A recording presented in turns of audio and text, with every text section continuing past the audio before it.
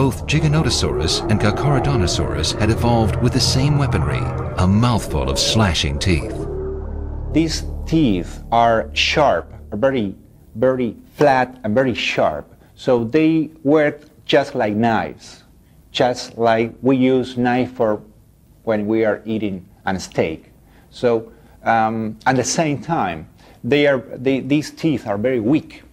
They are not strong. They're not as strong like Tyrannosaurus rex teeth. What we're seeing in Giganotosaurus is a mechanism for the animal to come in, basically take a big gouge out of the side of the prey by slicing with its teeth into the side of the flesh, avoiding the bone, and then moving back as fast as it can so that it avoids getting hit or turned on uh, by the animal that it's going after, and then basically waiting to see the effects and then coming in again and again until its prey weakens and falls.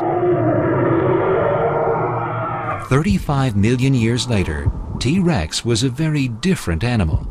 Just as big, perhaps, but with a narrower frame, smaller front limbs, and more robust jaws. With this different body came new weapons, teeth of a very different design. T. rex teeth, unlike any other meat eater's teeth, are huge, swollen, armor piercing spikes, not blades. They're not knives. These are armor piercing bullets for cracking and crushing. All of the other giant meat eaters, all of them, have teeth that are much sharper in the front and back, much thinner side to side. Good for slicing, but if they hit a bone, they just break, they'd snap. It was T. rex's massive head and jaw muscles which made it a powerful predator. Obviously, most of the work uh, that these animals achieved was with their, with their jaws. They were uh, running uh, skulls, essentially, and they attacked with their, with their jaws, and they ripped with their jaws, and they had very strong necks. Uh, the arms were sort of a, a supplemental thing. Skull that I found Running skulls, big and, and ferocious.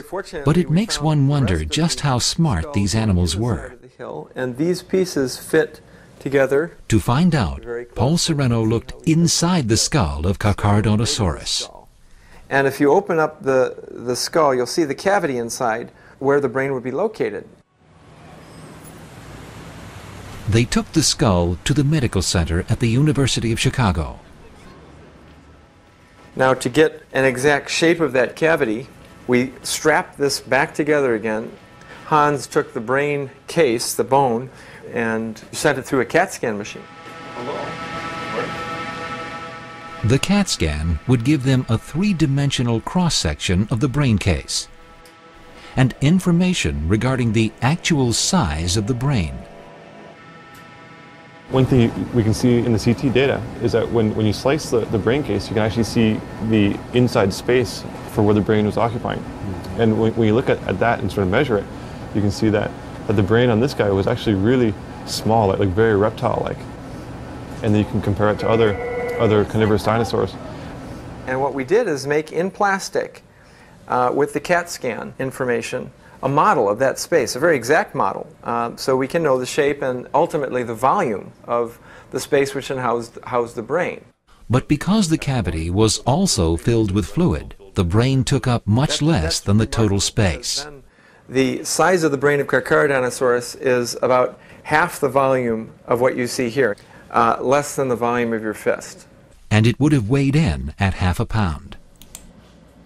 In order to make comparisons with other species, Larsson developed software from the CAT scan data that would give him a 3D image of the brain of Carcharodontosaurus. He then discovered evidence of an evolutionary tie between Carcharodontosaurus and one of its ancestors. One interesting thing about Carcharodontosaurus is that if you compare it to an Allosaurus, the, the brain shapes, the brain sizes are virtually identical. And even though you have an animal like a Carcharodontosaurus, which is twice the size of an Allosaurus, the brains didn't really change much in terms of scaling.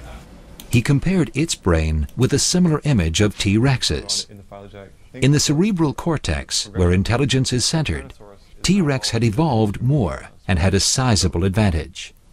This area here is where the cerebral hemispheres would have been located. And when you, when you uh, approximate the, the volumes of each of these two animals, you can, you can show that the cerebral hemispheres in Tyrannosaurus are approximately 50% larger than those of Carcharodontosaurus.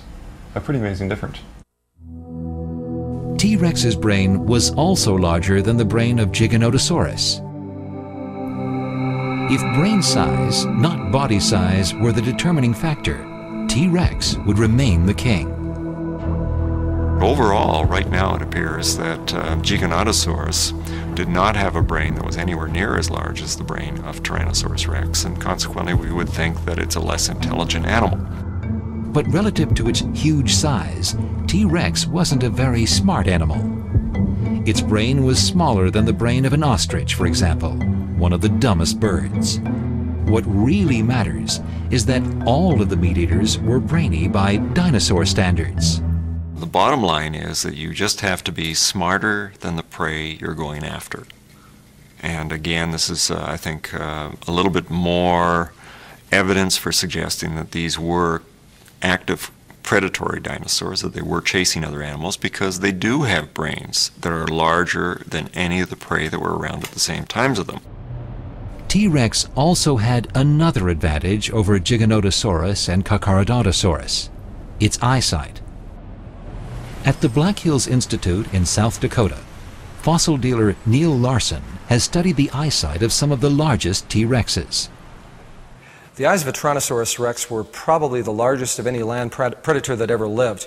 The only animal, uh, there are other animals that have larger eyes, such as the giant squid, Architeuthis, and whales have, some whales have larger eyes. But as far as eyesight, this animal had incredibly keen eyesight.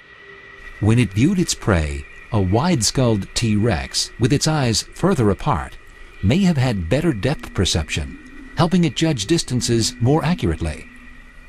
In contrast, Carcharodontosaurus and Giganotosaurus, with their narrower skulls and smaller brains, may have had a harder time figuring out just how far they were from a potential kill. Whatever the differences in their eyesight, all these predators focused on one thing meat. But were they all deadly predators?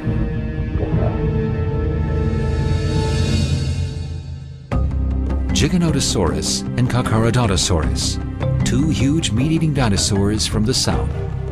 But does big also mean slow?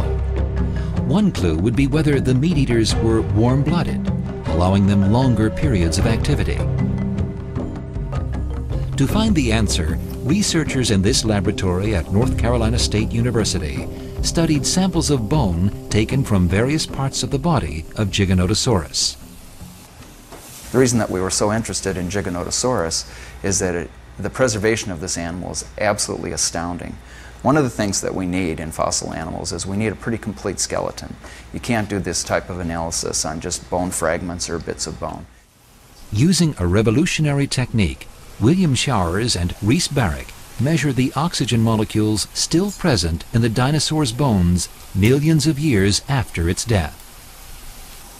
Okay, the measurements revealed an even distribution of heat between the outer extremities of the animal and the core of its body. According to their research, Giganotosaurus was warm-blooded. For the trunk part of the body, uh, where we have our ribs and vertebra and all of our you know, body organs, that there was not very much temperature variability. So the body core of this animal uh, was very constant. So it had a very constant body temperature, and that's typical of warm-blooded animals. There wasn't large temperature differences like you'd see in a cold-blooded animal. A Komodo dragon, for example, which is a cold-blooded animal, has large temperature differences between its tail and its core body.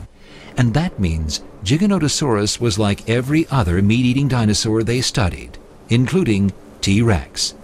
Warm-blooded, like modern birds and mammals.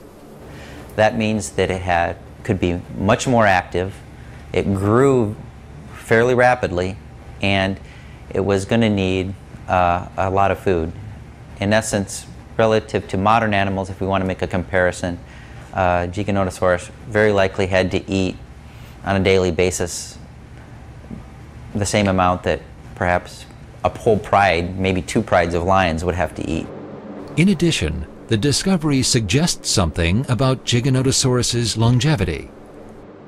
It's hard to tell, but it's very likely that these guys lived in the same order of magnitude as modern elephants do. So they could live you know, maybe 20 to 50 years or something like that, uh, as opposed to living 120 years if they happen to be, you know, with a reptilian metabolic rate.